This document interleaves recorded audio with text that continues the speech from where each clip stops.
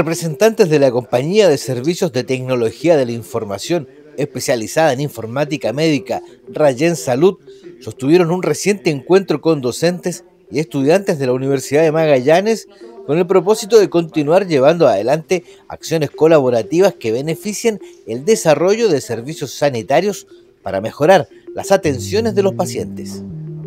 Lo que estamos haciendo es un esfuerzo conjunto, siempre conjunto, con universidades o centros de formación de educación superior que forman técnicos y o profesionales en el ámbito de la salud,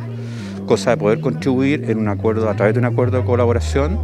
donde nosotros entregamos eh, la oportunidad para que los profesionales y docentes, de, en este caso de la universidad, que trabajan en los campos clínicos donde se forman los estudiantes, puedan acceder al uso de licencia y por lo tanto registrar también en la, plataforma de sistema de las fichas clínicas de los pacientes. Pueda realizar mi carrera de una forma más tranquila,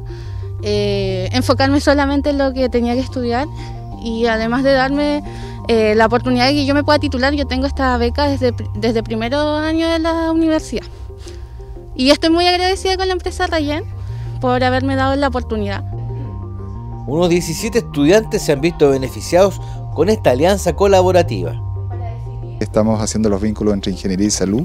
y tratando de generar proyectos de investigación y que puedan tener un impacto positivo digamos, en la salud de las personas y en aspectos tecnológicos igual. Es un nivel de satisfacción no para nosotros solamente, sino que yo creo que también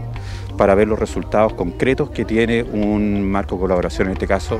de una empresa que viene del sector privado con una entidad, una organización que es una universidad estatal y eso para nosotros es maravilloso.